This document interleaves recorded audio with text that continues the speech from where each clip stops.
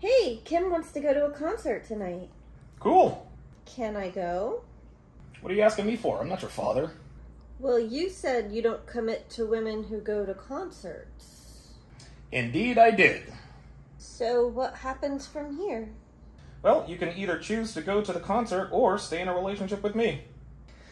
Ugh, it's just a concert. Yep, sure is. You can't let me do this one thing for fun? I'm not telling you you can't go. Well, you kinda are. I kinda haven't. I've just given you a choice. This feels like an ultimatum.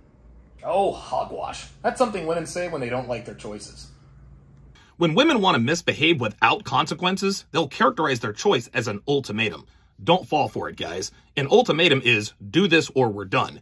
A choice is not an ultimatum. Never forget that.